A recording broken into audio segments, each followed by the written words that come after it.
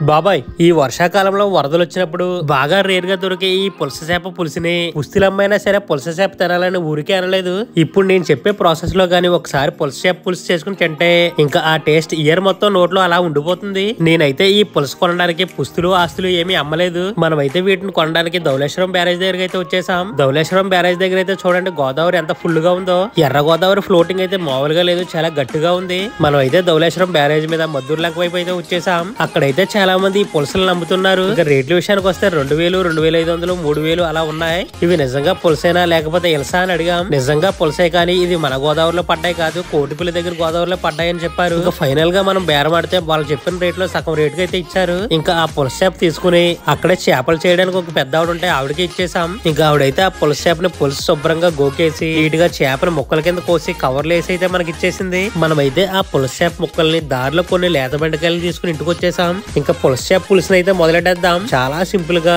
టేస్ట్లో అయితే అదిరిపోయేలా రెడీ చేసేద్దాం. ఈ పులసచేప ప్రిపరేషన్ మేకింగ్ అయితే కొంచెం ఈజీయే కానీ కుకింగ్ టైం మాత్రం చాలా ఎక్కువ పడుతుంది. ముందైతే ఈ పులసచేప పులుసు పెట్టడానికి ఏమేమి ఐటమ్స్ కావాలో అవన్నీ చూసేద్దాం. ఉల్లిపాయలు పచ్చిమిరకాయలు అల్లం వెల్లుల్లిపాయలు చింతపండు లేత బెండకాయలు కరివేపాకు కొత్తిమీర అండ్ అలాగే మనకు టేస్ట్కి సరిపడా ఉప్పు కారం గరం మసాలా. ఈ ఐటమ్స్ ఉంటే సరిపోతుంది. ముందైతే చింతపండులోకి నీళ్ళు వేసుకుని చింతపండు నానబెట్టేసుకోవాలి. అండ్ అలాగే మనం తెచ్చుకున్న చేప ముక్కల్లో కళ్ళుప్పు వేసుకుని బాగా శుభ్రంగా కడుక్కోవాలి. ఇందాక చూపించిన ఉల్లిపాయల్ని ముక్కల కింద కోసుకుని మిక్సీ జార్లో వేసుకుని కచ్చా పచ్చా కింద ఆడేసుకోవాలి. అలాగే అల్లం వెల్లుల్లిపాయని కూడా పేస్ట్ కింద ఆడేసుకోవాలి. ఇవన్నీ రెడీ అయ్యాక ఇంకా కుకింగ్ స్టార్ట్ చేసేయడమే. మనమైతే బొగ్గుల పొయ్యి మీద మట్టి దాకలో కుక్ చేద్దాం అనుకున్నాం. కానీ ఆ టైంలో మట్టి దాకా ఎక్కడ ఉందో కనిపించలేదు. సో బొగ్గుల పొయ్యి మీద గిన్నె మీద అయితే కుక్ చేస్తున్నాం. ముందైతే ఈ బొగ్గుల పొయ్యి మీద కొంచెం వెడల్పుగా ఉన్న దాకలు అయితే పెట్టుకోవాలి. నెక్స్ట్ అయితే ఇంకా ఆ గిన్నెలో ఆయిల్ అయితే వేసుకోవాలి. దీనికి కొంచెం ఆయిల్ ఎక్కువే పడుతుంది. కొంచెం ఎక్కువ వేసుకోండి. ఆ ఆయిల్ ఈటెక్కాక మనం ముందుగా కచ్చా పచ్చ కింద ఆడిపెట్టుకున్న ఉల్లిపాయ పేస్ట్ అయితే ఇందులో వేసుకోవాలి. ఉల్లిపాయ పేస్ట్ అయితే బాగా కుక్ చేయాలి. కలర్ చేంజ్ అయ్యే వరకు కూడా.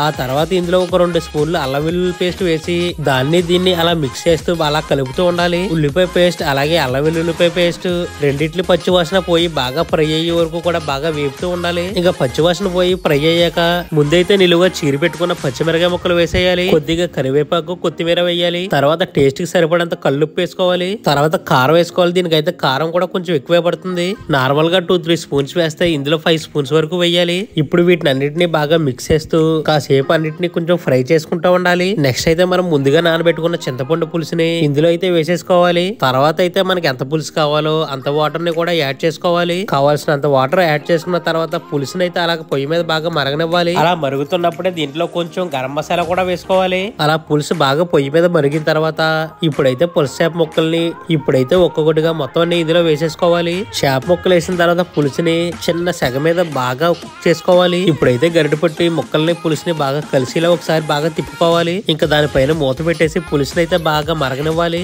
ఒక ఫైవ్ మినిట్స్ తర్వాత మూత తీసి ఈ పులుసులోకి స్టార్ ఐటమ్ అయిన లేత బెండకాయ ముక్కల్ని అయితే వేసేసుకోవాలి. అలాగే మిగిలిన కొత్తిమీర కరివేపాకుని కూడా వేసేసుకుని పులుసు పైన మూత పెట్టి బాగా ఉడకనివ్వాలి. ఇంకా మధ్య మధ్యలో పులుసుని మూత తీస్తూ చూస్తూ ఇంకా దీంట్లో ఒక స్పెషల్ ఐటమ్ అయితే వేయాలి.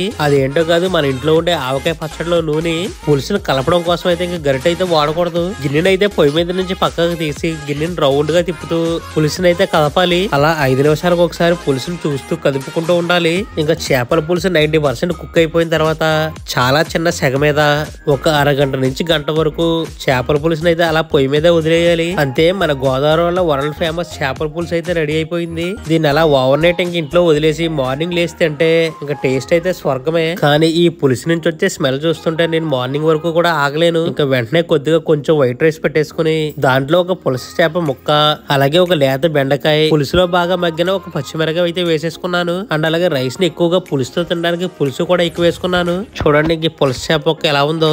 చాలా మెత్తగా బాగా కుక్ అయింది. బెండకాయ కూడా చాలా బాగా కుక్ అయింది. ఇంకా ఈ పచ్చిమిరకాయ అయితే చెప్పక్కలొద్దు స్మాష్ అయిపోతుంది. ఇంకా రైస్లో ఆ పులుసు కలుపుకొని పులుసు ముక్క ఒక ముక్క తీసుకుని ఆ బెండకాయ అవన్నీ కలుపు తింటే ఇంకా స్వర్గమే. సో మీకు ఈ రెసిపీ ఎలా అనిపించిందో కామెంట్ చేయండి. అండ్ ఇది పులసో ఎలుసో మీకు తెలిస్తే కూడా కామెంట్ చేయండి. మీ సైడ్ కూడా పులస చేపను ఇలాగా చేస్తారా వేరేగా చేస్తారా? ఈ వీడియోకి ఒక లైక్ ఒక సబ్స్క్రైబ్ మాత్రం మర్చిపోకండి. More video subscribe.